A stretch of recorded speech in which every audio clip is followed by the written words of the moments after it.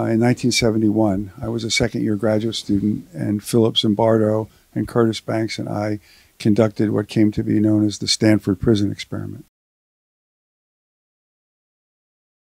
And I watched um, a group of uh, college students, psychologically healthy college students, uh, who were, were, selected because of their psychological health and resiliency, randomly assigned to be guards or prisoners, placed in the basement of the psychology department building for a study that we thought would last for two weeks. And I watched things spin wildly out of control guards becoming sadistic, student guards becoming sadistic, student prisoners breaking down emotionally.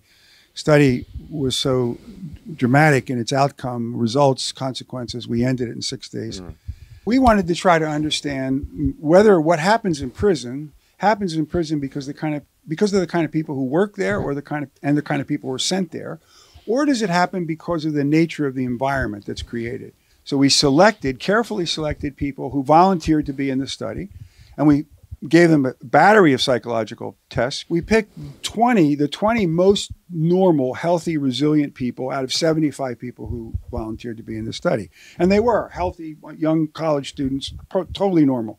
Half of them became guards, half of them became prisoners. And then Zimbardo and Banks and I sat back and watched what happened. The idea being whatever happened was not going to be because of who we put in this environment.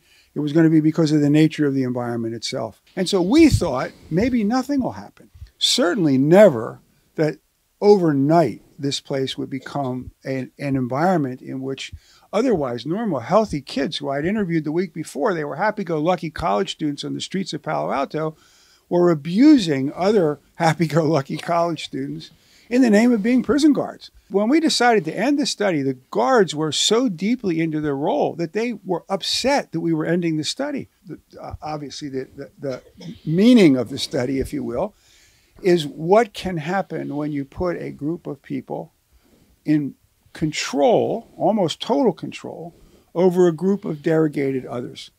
That, the, that's the essence of imprisonment.